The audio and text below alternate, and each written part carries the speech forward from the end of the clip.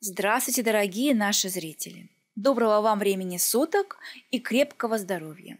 Ну, это чтобы с нашими программами вы могли справиться. Сегодня у нас снова пилотная передача. Мы открываем новую серию передач, в которой расскажем вам о всяческих полезных приметах, которые помогут вам ориентироваться в сложном мире принятия решений. У вас уже не будет дилеммы «да» или «нет». Потому что вы будете точно знать, что вот тут надо сказать «да», а вот тут «нет».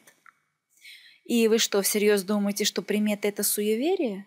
Дорогие мои, любое суеверие – это только на 30% ерунда, а на 70% чистая правда.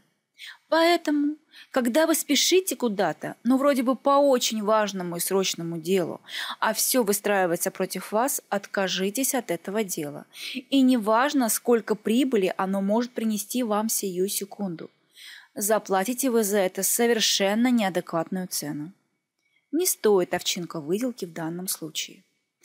Ну, или если вам совсем не в моготу и дело просто необходимо выполнить, перенесите его на завтра – Вспомните человека, который летел на очень важную встречу и по дороге в аэропорт упал и подвернул ногу. Вот ему бы остановиться, подумать. Но человек был не суеверный и в приметы, увы, не верил. В итоге, невзирая на боль в подвернутой ноге, схватил такси и поехал в аэропорт.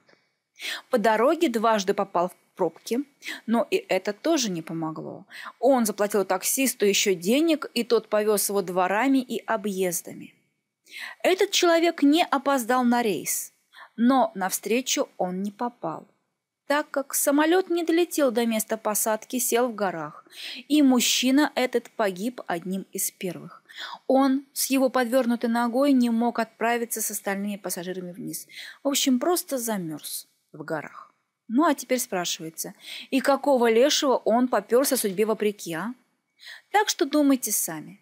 А мы будем вам рассказывать о приметах, потому что тот, кто знает больше, тот ошибок совершает меньше.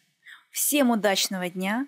Подписывайтесь на наш канал, получайте больше шуток и серьезных новостей. До новых встреч!